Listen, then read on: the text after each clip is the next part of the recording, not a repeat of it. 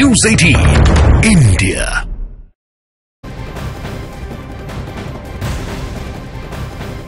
बहुत बड़ी खबर पाकिस्तान से आ रही है, जहाँ इमरान खान के समर्थकों ने चुनाव में बड़ा उलटफेर कर दिया है पाकिस्तान में नेशनल असेंबली चुनाव के नतीजे आने शुरू हो चुके हैं और अब तक दो सौ छियासठ सीटों में से 20 सीटों पर नतीजे आ चुके हैं इमरान खान के समर्थक जो आज़ाद उम्मीदवार के तौर पर चुनावी मैदान में हैं उनमें से 10 ने जीत दर्ज कर ली है। वहीं नवाज़ शरीफ की पार्टी पीएमएलएन को पाँच सीटों पर और बिलावल भुट्टो की पार्टी पीपीपी को पाँच सीटों पर जीत मिली है। इमरान खान खुद जेल में हैं, लेकिन उनके समर्थकों ने 10 सीटों पर जीत दर्ज की है क्योंकि नवाज़ शरीफ की पार्टी आगे मानी जा रही थी, लेकिन अभी जो चुनावी नतीजे सामने आए हैं, उसमें इमरान खान को बढ़त मिलती हुई नज़र आ रही है।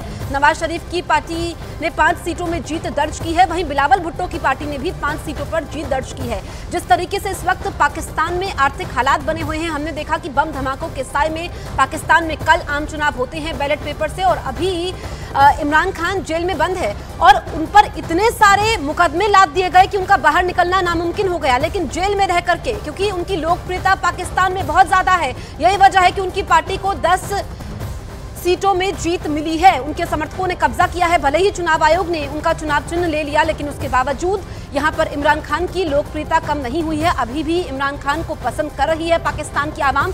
ये इन चुनावी नतीजों से साफ़ होता है।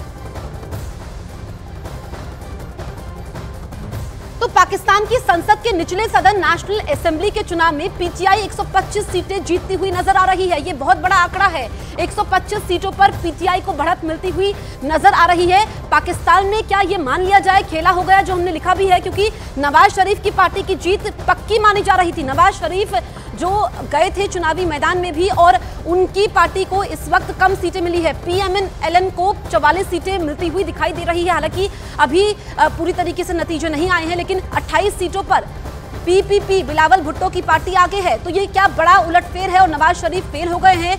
इस वक्त ये स्थिति दिख रही है, ये तस्वीर साफ़ होती हुई नज़र आ रही है। इमरान खान खुद जेल में है, मुकदमे तो लाद दिए गए, जेल से बाहर नहीं निकल पाए, लेकिन अभी भी पाकिस्तान की आवाम उनको पसंद करती है। ये इस वक्त की सबसे बड़ी खबर है। और इस बीच एक और सबसे बड़ी खबर न्यूज़ एटीन इंडिया पर हम आपको बताएँगे।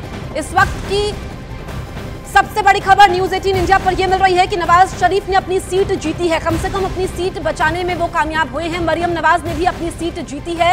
ये पाकिस्तान में वो चेहरे हैं जो चुनावी मैदान में थे और शरीफ की पार्टी भले ही पीछे चल रही है, लेकिन अपनी सीट जीतने में वो कामयाब रहे हैं। इस वक्त की सबसे बड़ी खबर, नवाज़ शरीफ ने अपनी सीट पर जीत दर्ज की है।